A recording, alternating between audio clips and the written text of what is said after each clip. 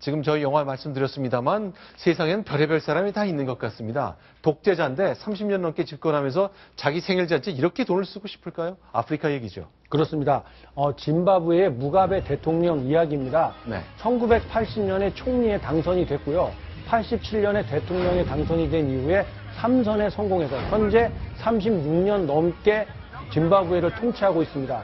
자기의 92번째 생일 잔치를 열었는데요. 네. 여기에 쓴 돈이 무려 10억 원에 달한다고 합니다. 네. 이 10억 원에는요, 네. 코끼리를 잡고 각종 소, 돼지 이런 가축들을 잡는데 돈이 들어갔고 생일 축하 파티에 참가한 사람만 5만 명이라고 합니다. 물론 네. 경제적으로 풍족한 시대였다면 누구도 시비 걸지 않았을지 모르겠지만 네. 지금 짐바브웨에서는요 300만 명이 넘는 시 국민들이 기아에 허덕이고 있다고 합니다.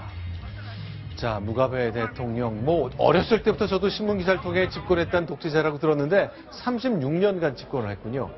자, 92세에 달했습니다. 많은 걸 자축하는군요. 그러니까 짐바브웨가 남아공 옆에 있는데 상당히 잘 살았거든요. 네. 그때는 백인들이 농장을 많이 경영했는데 네. 아무런 대책 없이 포퓰리즘으로 자기 대통령 당선되려고 백인 농장주를 다 쫓아내고 그걸 전 몰수해가지고 흑인들 나눠준 다음부터 네. 국가 경제가 완전히 파탄에 이른 진짜 국가를 거들낸 어, 독재자인데 네. 어떻게 계속 저런 행동을 하는 거 보니까 한- 한심합니다.